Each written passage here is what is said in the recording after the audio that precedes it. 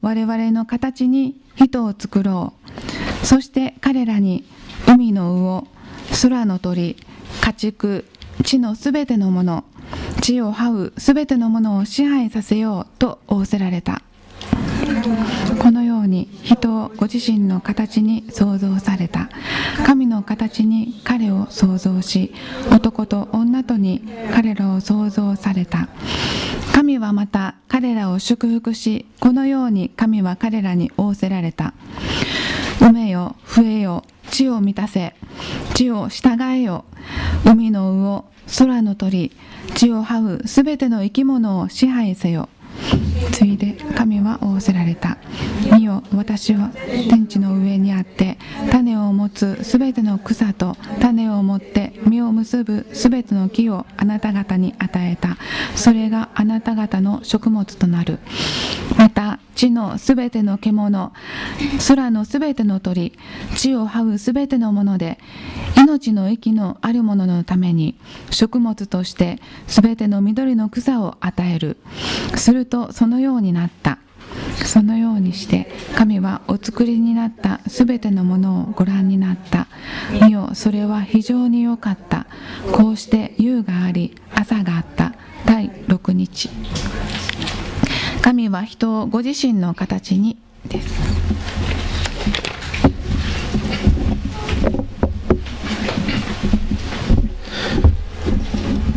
おはようございます。新年明けましておめでとうございます。今年もよろしくお願いします。この間家族で京都の鉄道博物館っていうところに行ってきました。僕鉄道にあんまり興味ないんですけど行きました。建物きれかったです。冬休みで人が多くてもう入り口があのラーメン屋よりも並んでるんですね。あのそこの三つ葉より。うわーっていっぱい並んでてもこうほんまに蛇みたいにこうぐねぐねぐねって。でだいぶ並んで待ちました。行かれる前はお孫さんとかお子さんと行かれる前は前売り券を買って休日は行く方がいいと思います。外国からの観光客もその日本の JR の電車を見に来ててわすごいな JR と思って見てました。英語が聞こ聞こえてきたんです。でなんとなくあ英語やと思ってパッて振り返ってみたら急に小声になるんです。あこの人英語わかる人かもって、まあ、思われたようです。僕なんか英語ができそうな顔みたいです。全くできないです。今日のメッセージは日本語でさせていただきます。新年最初のメッセージは聖書の創世記最初に書かれてある一章からです。26節。そして神は我々に似るように我々の形に人を作ろう。そして彼らに海の魚空の鳥家畜地のすべてのもの地を這うすべてのものを支配させようと仰せられた。我々の形としてって我々に似せてって。神様は唯一です。けれど複数形で我々とあります。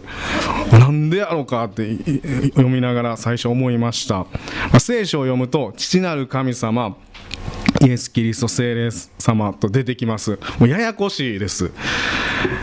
僕小さい頃大人のお祈り聞いてたんです、まあ、なぜかというと、まあ、食事の時にあの安高君やっくんお祈りしてくれると頼まれる時に祈れなかったらもう恥ずかしいからです。僕でもプライドがあります。で大人の人の祈りはこうでした天のお父様って。今からの時祝福してください。聖霊様導いてください。イエス・キリストの皆によってお祈りします。アーメン。一体誰に祈ってんねやろうって。天のお父様え聖霊様イエス様なんで3つも神様おんねんやろうと疑問に思いながら少年時代を過ごしました。僕は21歳の時に、まあ、自分には罪があるこれを持ったまんま死んだら地獄やって天国に行かれへんのかって神様おるんやったら助けてくださいって聖書を読んであこの僕のために神である方が人となってこられてそれがイエス・キリストが十字架にかかって墓に葬られて3日目によみがえられたってそして今も見えないけど生きておられるっていうこのことを信じました。いただきますって受け取りました。その時になぜか三位一体っていうことを信じることができました。天のお父さんが1番でイエス様が2番で精霊様が3番というのではありません。職務の違いを表しています。創世紀の一章の一節に初めに神が天と地を創造したの。この神っていう言葉でもヘブル語でエロヒームっていう複数形が使われています。最初の聖書の最初から三位一体を表しています。父なる神聖霊様イエス様。三位一体になる唯一の神様が宇宙世界ができる前からおられた。1日目は光を作られました。2日目は空と水。3日目は陸と海。水と海ちゃうんか？って最初読んだ時思いました。4日目は太陽と月と星と昼と夜ができました。5日目は魚と鳥。6日目は動物。そして人間男と女。で作ったものを見て非常に良かった。非常に良いと言われた。で7日目神様は創造の技の完成を告げて休まれました。イザヤ書の45章。開開ける方は一緒に開きましょう。イザヤ書の45章18節。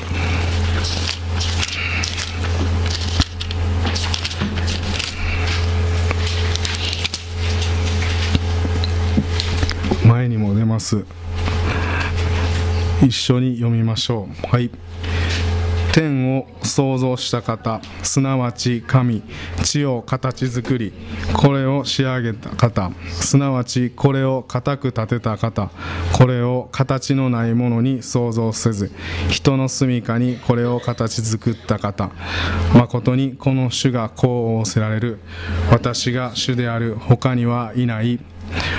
地球も、人間も偶然にできたって書いてなくて全能者である神様が作ってくださいました。しかも地球は人間の住むところとして作られました。空気は酸素が21%で窒素が79%、まあ多くパッて2つに分けたらそういうふうに構成されています。人にちょうどいいそうです。健康状態を保つことができます。酸素が3%減ったら酸素が足りひんくで酸素欠乏症っていうのになって大脳に悪いそうです。で逆に酸素の量がこう増えても、まあ、生命は危険にさらされます。それだけじゃなくてちょっとこすったりしただけでも火事とかになってあの大変だそうです。火事が増加するそうです。で太陽の表面温度は6400度です。この温度がプラスマイナス30度ちゃうだけで地球上の生命体が生きていくことができないと言われています。30度。いやちょっとだけやのになと思って読んでました。太陽がこんなにも人間にとって良い温度に保たれているのは偶然でしょうか。神様が人間への贈り物としてこの美しい地球を与えてくださいました。この人ご存知ですか？アポロ15号の飛行士ジム・アーウィンアービンじゃないです。アーウィンですがここんなこと残してるんです言葉で。宇宙に出るまで私の信仰は人並み程度のものでした。それに神への存在に少し疑いを持っていました。しかし宇宙飛行によってそれらを吹き飛びました。神は絶対におられるということが分かったのです。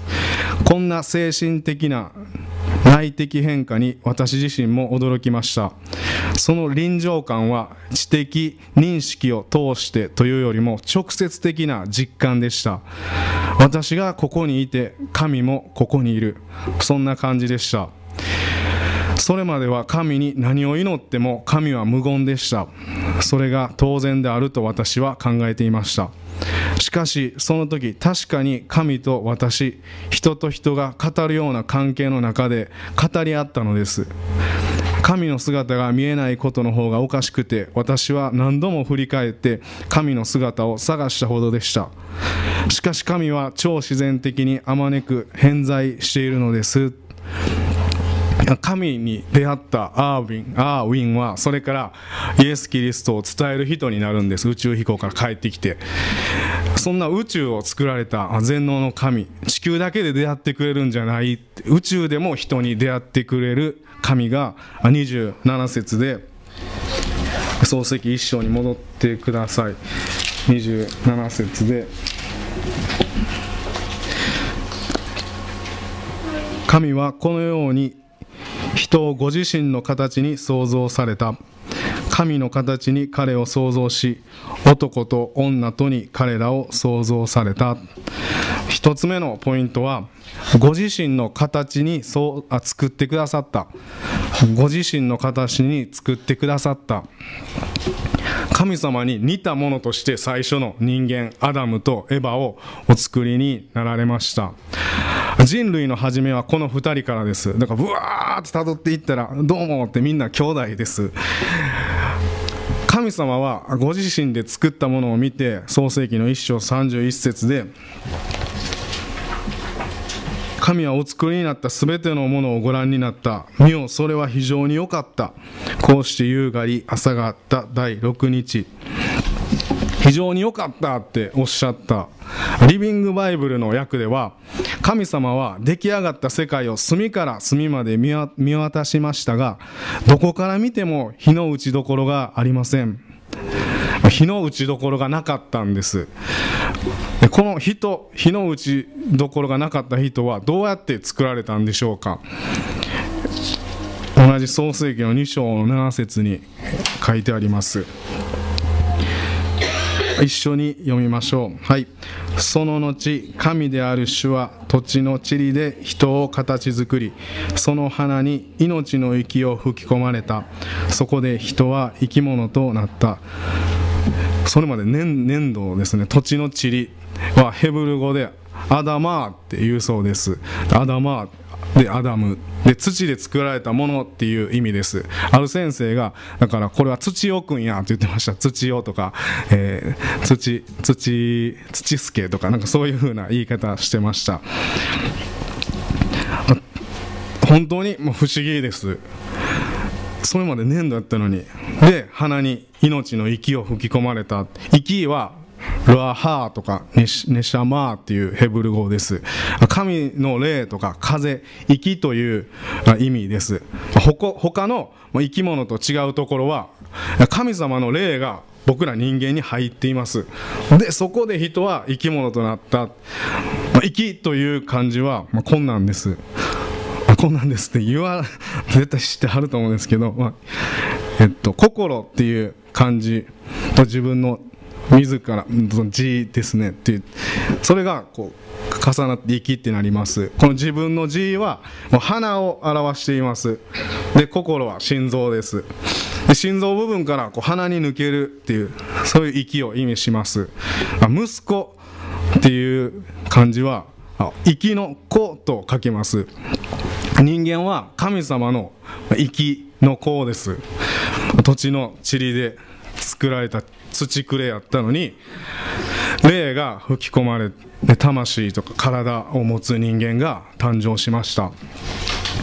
人間自分を見るとどうでしょうか？外側だけじゃなくて一人で内側を見て。どう見ても僕神様に似てるって思わないです。そもそも神様の形ってあるんかなって思います。昔はこんなイメージです。髭が長い、なんか崖の上で、なんかあぐらかいてる仙人みたいな人が神様かなって思ってました。けれど、聖書を読むと、ヨハネの4章の24節で、神様は霊ですってあります。神様は霊です。僕たちをもう霊的な存在として作ってくださったんです。2つ目のポイントは神の息が入っている霊的な存在。神の息が入っている霊的な存在。最初は神様と語り合える存在でした。ロボットとして作られていません。自由意志。あっち行ったりこっち行ったり自分で選べる。その意志を与えてくださいました。神様は神様の方を選ぶ人生をアダムとエバに期待されていました。神様はアダムに最初厳しく言われました。あなた方はこの園の中のどの木の実を食べてもいいですよって。しかし一本あの木の実を取って食べてはいけませんよって。それを取って食べると必ず死にます。善悪と知識を知る木をエデンの園の中に置かれました。その他何食べてもいいよって言ってくださっていました。けれどサタンは善悪を知る木のとこで待っていてエヴァを狙います。で蛇に騙されてエヴァが神様の言葉を選ばずに善悪と知識を知るその実を取って食べてしまいます。そしてエヴァはアダムに渡します。あれ？って。これ食べたらあかんやつちゃうかったっけなって。まあ美味しそうやし、まあ、エヴァも言ってるし賢くなるって言ってるしまあいいかってパクって食べてしまいました。アダムはこの時決断する時でした。神様の言われたことの方を選ぶかエヴァと運命を共にするか。アダムはエヴァが手に持っていた実を選びました。神様にこう背を向けた背いたことから人間の罪現在生まれて持った罪が存在するようになりました。それまでは死ぬことのない体死の恐怖にもあいつ死ぬんかなって縛られない罪にも縛られない状態でした。最初に作られた状態だったらきっとめっちゃ頭良かったと思います。何でもすぐ覚えられてわあそこにあれおるあれおるとか。で一回見ただけで記憶できる。ちゃんと。名前もみんなもうバッチリ覚える。何やったっけなーっていう言葉なかったかもしれないです。忘れることがないほど賢かったんじゃないかなと思います。今では人間アインシュタインのように頭の良い人でも大脳の5%も使っていないそうです。95%は5%は使わないうちに肉体が衰えていきます。大脳を完全に使い切るためには100年200年の寿命では足りないそうです。人間はもともと100歳200歳までで終わるようなものではなかったっていうことです。いつまでも神様と生き続けるものとして作ってくださったのに寿命ができました。死が始まりました。で死の奴隷になってしまいました。罪のある状態というのは本来神様が作ってくださった形とは違います。罪のない状態が本当の姿です。イエス様に出会って人は本来あるべき姿に回復していきます。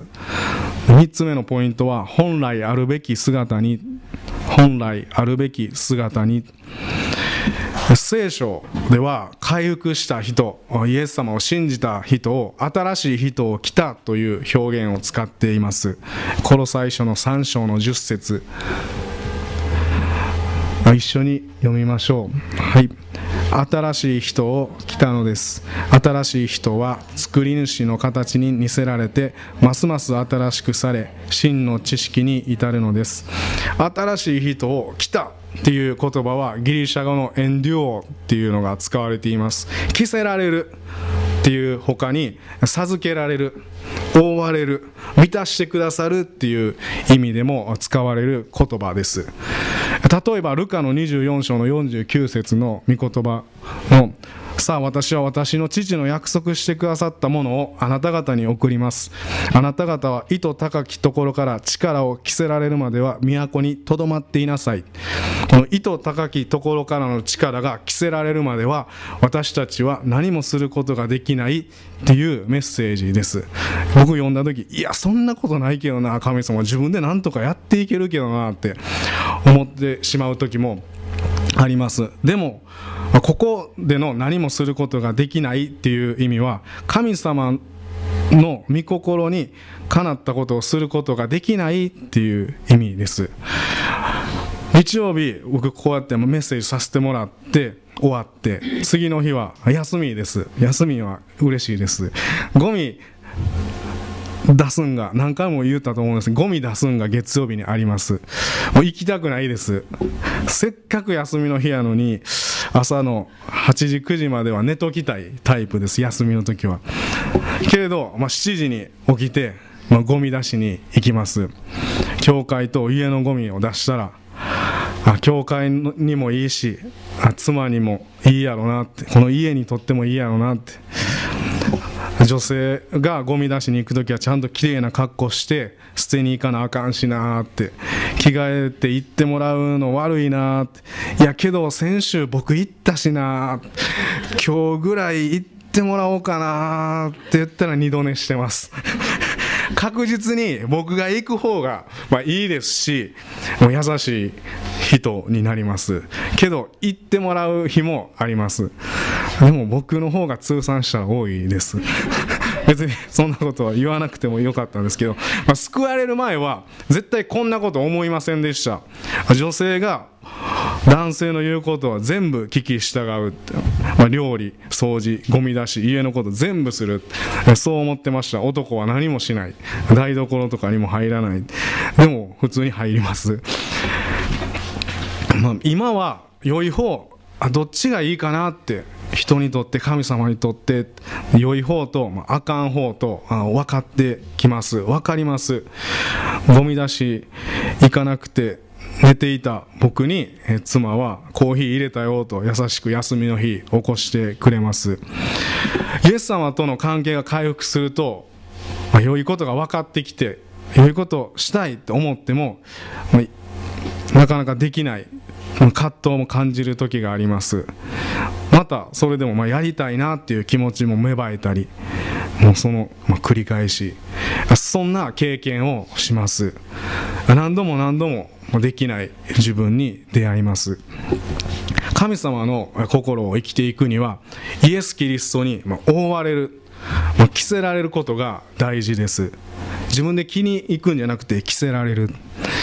イエス様を信じた人は修行をしてあの人みたいにならなってイエス様に似ていくんじゃないんです。なんか積み上げてじゃなくて。そんなんしんどいですよね。他のなんか新しい宗教と一緒です。もう一度この最初3章10章 10, 10節読みます。新しい人を来たのです。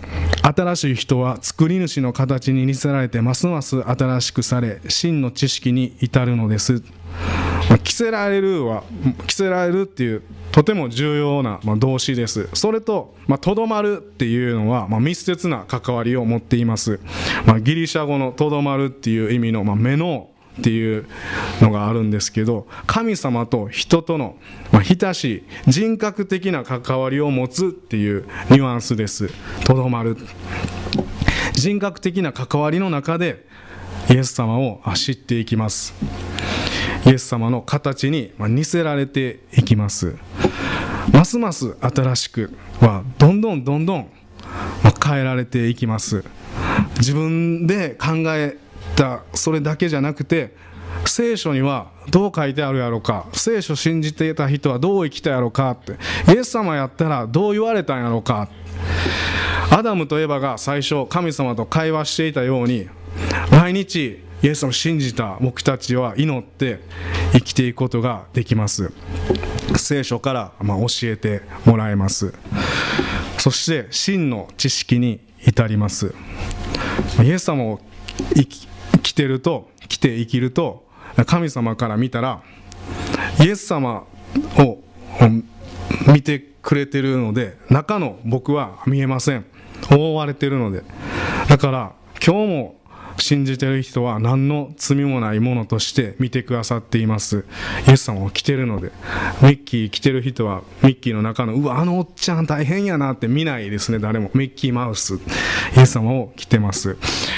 毎週土曜日あのここに上田さんが来てホープを一緒に掃除してくださっています。って言っても僕はほとんど終わってから祈りが終わってから朝ここに到着するんですけどもう椅子もきれいに並べてくださいます。でコーヒーとお茶飲んで一緒に喋ります。で昔話をもう語ってくれます。で最後玄関に行ってこう言い張ったんです。クリスチャンになってホープに集ってから毎日欠かさず聖書を読むようになってイエス・キリストのありがたさが分かるようになってきた。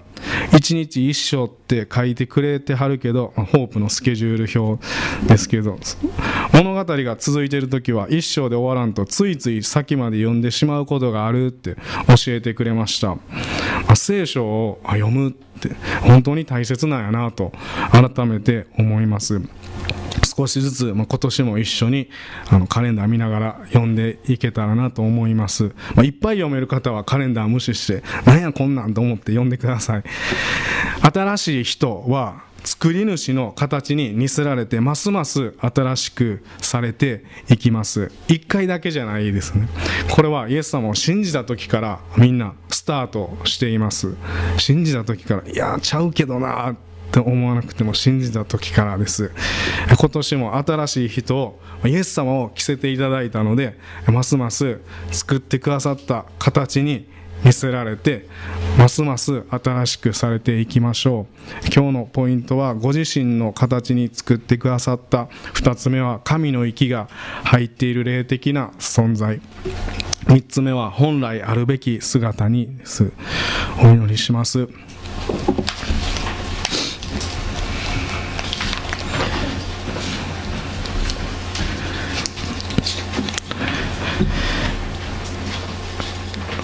新しい人を来たのです。新しい人は作り主の形に似せられてますます新しくされ真の知識に至るのです。天皇お父様2017年始まりました。神様が作ってくださったその形にここにいてる一人一人を回復させてくださってありがとうございます。1年あっという間ですが一日一日いろんな選択の中で生きていきます良い方悪い方とわからない時もありますけどもどうぞ神様イエス様が生きたように生きることができるように助けてくださいできない時もイエス様に覆われて生きていることを確認しながらずっと生きていくことができますようにお願いしますイエス様の命と交換でこの新しい服新しいものを着せてくださっています。ありがとうございます。宇宙と地球を作ってくださった方が私たち人間だけに息を吹き込んでくださって神様と話せること祈れることをありがとうございます。